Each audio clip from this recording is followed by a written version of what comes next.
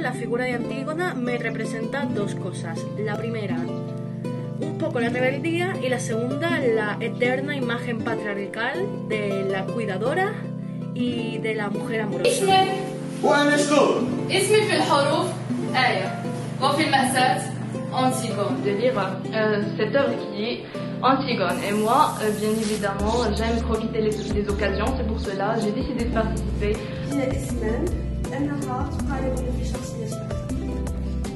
l'histoire, je préfère un personnage qui s'appelle Antigone, euh, car il me présente et son personnage est grand. Et euh, Antigone, euh, que euh, molta seria. Euh, le personnage le plus proche à moi. This year, after high school, I plan to apply for Faculty of Fine Arts to get my future artistic career on the right track and better understand the world of creative expression. Le projet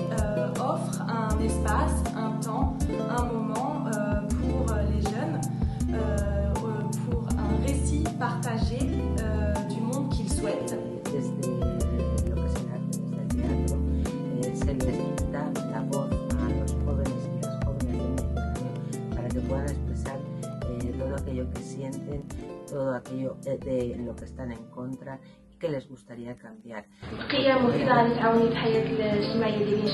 am so honored to participate in this play. I think it is an amazing opportunity that I am so grateful for because it will help me improve my communication skills, share new ideas, and uh, express myself freely. part of a project like this that deals with the issues young people face because obviously I'm very passionate about these things, and um, I couldn't be more happy and more honored that other countries in the